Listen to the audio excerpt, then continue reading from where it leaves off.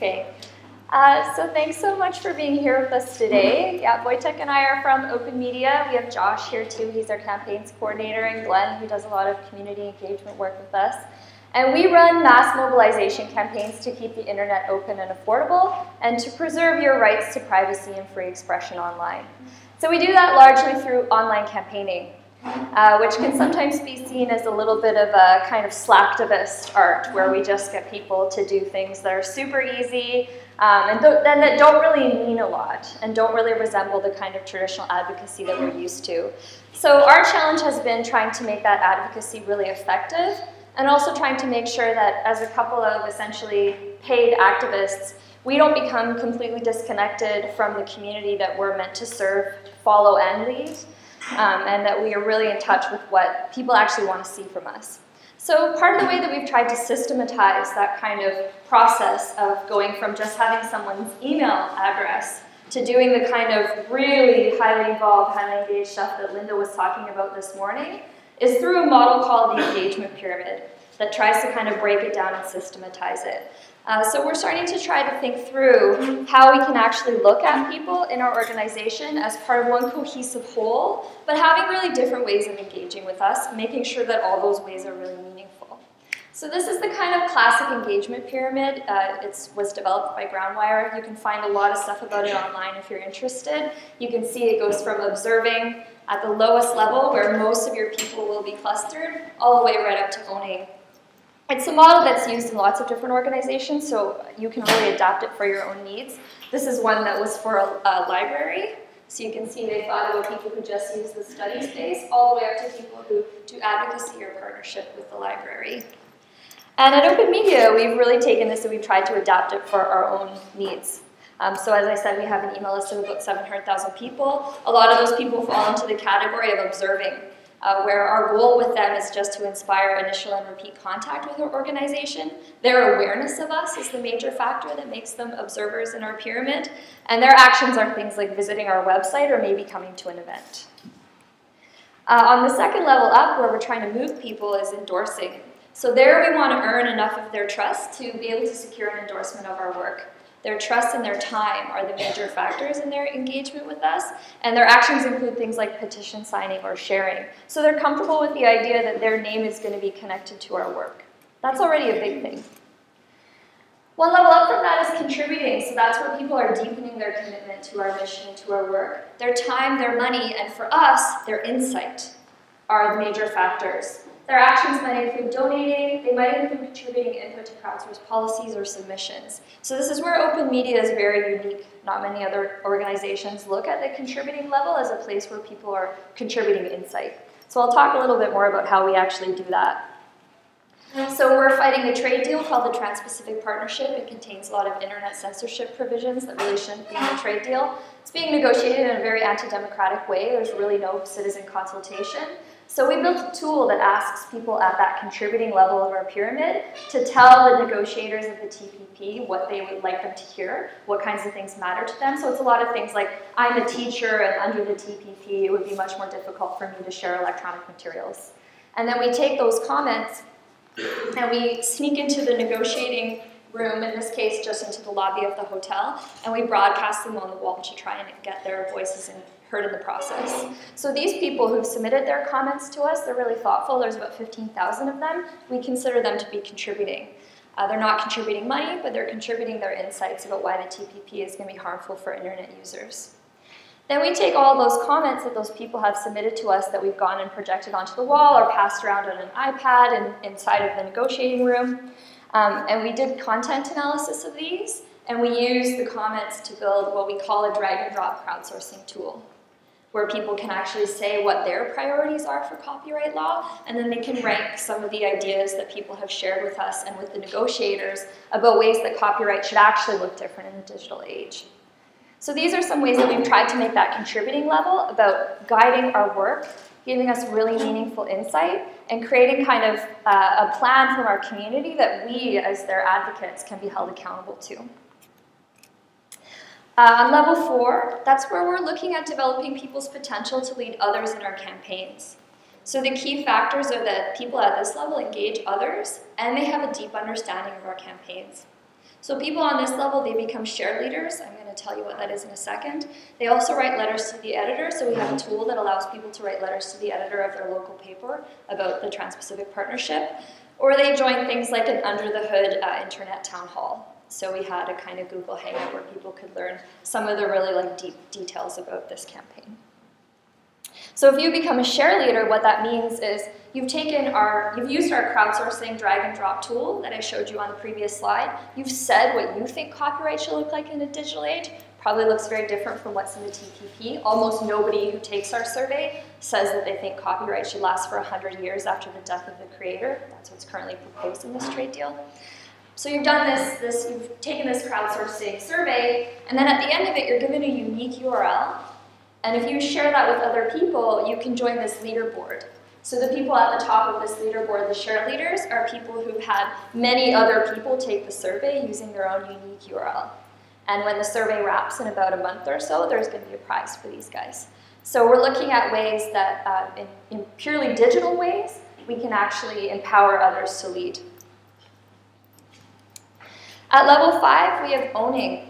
And that looks pretty different for us, especially for some reasons that Vojtech's going to get into. Um, but uh, for us, the way that we've designed our pyramid, at level five, uh, you actually feel like you own Open Media's work and its mission. So you have an organizational, not a campaign-specific commitment. So you understand Open Media as an organization that's independent from an individual campaign to fight the TPP or fight Bill C-30 um, or protect your privacy online. You get the kind of mission of our work. Uh, so people at that level, they've joined what we call a digital action team. Uh, they might volunteer in person, or they become a monthly donor, which is a really significant commitment to open media. So this is what our, this is a kind of representation of this uh, pyramid for one of our campaigns, the one that I've just been talking about on free expression or the Trans-Pacific Partnership. And one of the things that you'll notice that's super important here is we have a staff member's name beside each of the different groups in our pyramid of engagement. So somebody is tagged to actually figure out who those people are and what the next steps are going to be for them to move up. So this is super important to actually being able to implement this model. Looking at who's responsible. But the thing is, uh, what I've presented to you right now requires a fair amount of tracking. So you actually do need to be paying attention to where people are moving. So this is a representation of the growth in the campaign from one week to the next in the month of September. So it shows where people moved on the pyramid. Uh, and if you don't track that, then the model is obviously much less effective. Uh, so this is just a representation of where we went from September to November. You can see there's some, been some really significant growth, like 100,000 or about 90,000 in endorsing. Um, as of May 8th, we had 299,000 people endorsing, about 42,000 people contributing, 12,000 leading, and about 3,000 owning. So the numbers are, are quite significant. Uh, one, of the, one of the issues is that what I've shown you so far is actually just a triangle, right? Um, but open media works on more than just the free expression issue. We work on several different issues at once. So this is where we get into, I mean, this has already been a level of complexity, but we're about to get into like where, where it gets really, really interesting and really cool and sophisticated, um, and where we actually start to see this become a pyramid or a mountain so I'm going to pass it over to Vojtech for that. Thank you. Thank you, Reilly. Um, so as, as Ryan mentioned, we did a great job, I think, with sort of trying to implement the pyramid scheme onto one of our campaigns pertaining to free expression. But as you did also mention, we are working on more issues. What that meant was that we had to implement the very same sort of scheme onto our other issues. So we were working on access issues as well as privacy. Now the key point here that we've learned is one of the sort of one of the guiding principles in establishing those additional pyramids was that all the levels are comparable on all three pyramids. It means that if someone takes a level 2 action on either of the three pillars, they are sort of on the same type of engagement. What are you tracking then? The, what your tracking focuses is not the supporters, it's the type of the supporter and the type of an action that they take. Now, depending on your organization, you may end up with 7, 12, 15 pyramids. Who knows, depending on how many actions you run. So how do you then implement this engagement scheme onto your, onto your entire organization? You soon realize that if you have those pyramids set up in a comparable way, where each level sort of corresponds, and you have those types of engagement, charted out on all those campaigns, you realize that as people ascend the pyramid, whichever one they ascend, they're all sort of moving towards the center. What you then end up with having is the most highly and the most valuable supporters are naturally moving towards the center. They're, they're participating in you know, higher, higher value actions, donating, filling out you know, the crowdsource tool. That takes time, that's participation. People are investing their time and money. And that is why it is important to uh, establish what we call the core. So the core is demarcated, and we've sort of been, uh, we define our core as levels four and five, so that's level leading and owning. Uh, we include one-time donors, volunteers, people who dedicate their time, people who are very passionate. Why are we trying to sort of separate them out of the rest? It's because they deserve better, different treatment. Those are people who are much more likely to donate. How likely, I'll, I'll talk about in a bit. And uh, they're also, you know, now that when they enter that zone, they are much more likely to receive communication from us. The communication is also much more personal, uh, and that's why it's important. Now, the resemblance to a radioactive symbol is purely accidental. but uh, if you if you want to you know explain it to avoid confusion, don't explain it to your colleagues. I suggest you print it out and make a model as uh, I can just that. It actually doesn't look a radioactive symbol, but rather as a as a well. That's the thing. It's no longer a pyramid. Uh, now we are dealing with a cone. Um, or a mountain, or a, however, however you would like to talk about it. Um, and so we'd like to leave you with a few lessons that we've learned over this process. Uh, things that took us a long time to figure out, but lessons that we are quite excited and happy to share with you. First of all, we can't emphasize enough how important it is to define your core. When you are trying to ask people to, for very high value actions, become monthly allies, volunteer, you all know that you are burning your list with all those people unsubscribe because they are not ready for that kind of ask. That's why people who are in the core exhibit 21, time, 21 times higher chances of becoming monthly allies than people who are outside of that core, on average. Are, what, what that means is that when you email those people with the monthly ask, not only they don't really unsubscribe because they're so invested in the organization, they're also much more likely to become allies. So that's, um, that's the thing. And, and uh, what the 20 versus 58% number means is that Many of you are focusing on how to grow your list. And since we launched this campaign, or since we launched this model in December of last year, since then our list grew by 20%. But our core grew by 50%, which means that we've been really trying to focus our attention on how to move people into the core. And we've been quite succeeding. Because it does pay off. It does pay off uh, quite significantly. Even re in regard to the survey that, uh, that Reilly talked about, people who take the survey versus the people who actually share the survey and participated in the, are on the leaderboard, those people on the leaderboard have six times higher chances of becoming donors and getting more and more engaged in the organization. Now, one thing that I, that sort of is implied in the multi-pyramidal structure is that people can move around. So you engage people, you know, they enter your list around issue pertaining to, let's say, privacy or free expression. But then they may be suddenly interested in going to a campaign about privacy, and suddenly they take action on a different pillar, and now you have a situation where you have a four-directional movement on the pyramid. So not only are people moving up on the one pyramid where they were, let's say it's free expression, so they took a survey, then they shared it, then they donated to this campaign, so that's the upward movement, they can now also be, be bridged, as we call it, being bridged onto other pyramids. Now, bridging turns out to be quite a good thing to do. Because when you look at the sort of mountain structure, think about less as a pyramid, but more as a mountain, what you end up with is, is uh, you should not be forcing people to ascend in the, you know, in that sort of hardest way up. You should allow them to choose whether they want to go up or perhaps around. So they maybe wanna, may not be ready to become donors on one pillar, but when they explore the rest of the mountain, I don't know if the metaphor makes sense, but the idea is that there is a, there is a sort of a horizontal movement. Finally, you should allow people to fall off your pyramid or to sort of disappear from there. Should, it should not be a stagnant thing. Um, the criteria for us is people are inactive um, in, within the last two months, then we stop counting them as being on the pyramid. They may re-enter at some point if they take a new action, open an email, but if they don't, then we lost them.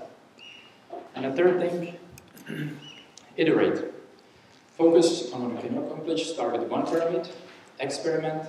Every organization has different needs, depending on whatever your issue is.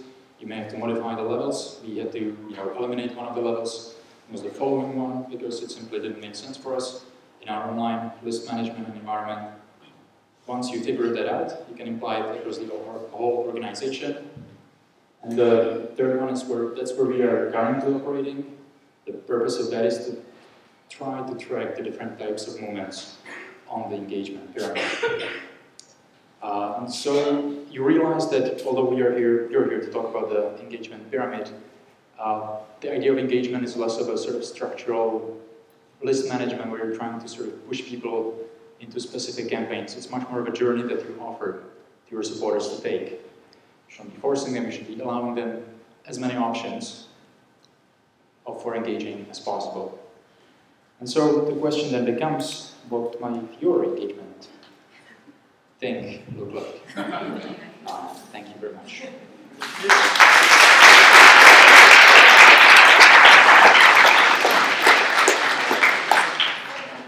Well, you guys have set a world record. You still have like two and a half minutes left. Yeah. So you should ask some questions because you're not always going to get people this smart in the room with you. So I would take advantage of it.